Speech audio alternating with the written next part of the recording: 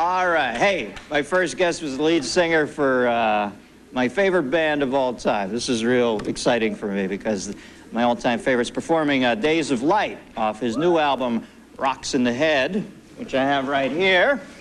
Roger Daltrey, folks, yeah.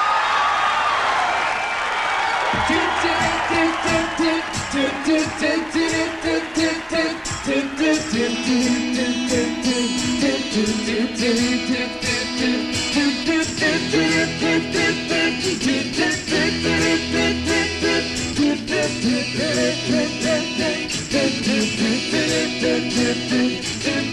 Fridays waiting at the gates of heaven. The weekend starts at seven. We get 48 hours of fun. Five days working on the line for five days. Time to change the look on my face. I'm waiting for the star to come.